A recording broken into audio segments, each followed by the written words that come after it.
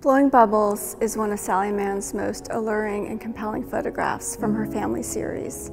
Mann started making photographs of her children in the mid-1980s. Unlike most family snapshots, however, Mann's photographs of her children are highly crafted compositions.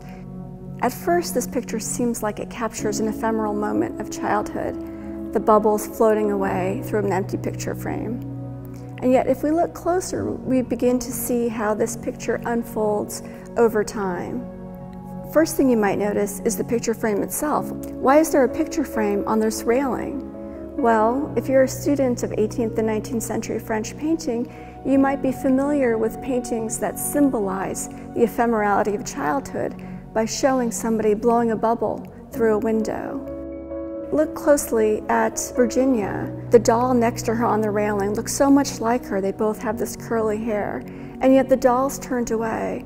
And then notice some of the objects down on the ground. There's a pair of women's shoes and a play shopping cart. It is as if Sally Mann is showing us both the exquisite moment of childhood, but also the future, the future of their lives as adults. Notice the dark edges as well, though. This is the technique that Mann used deliberately. She put a lens a little bit too small for the camera onto it to create this kind of silhouetting. This gives this image both a sense of kind of a narrative closure, but also a sense of beauty and mystery. Mann made these and other family pictures at their summer cabin on the banks of the Maury River in Virginia. This is where the family spent their summers. It had no running water, no electricity, and it's this sense of beauty and privacy that allowed Mann to make these pictures with the collaboration of her children.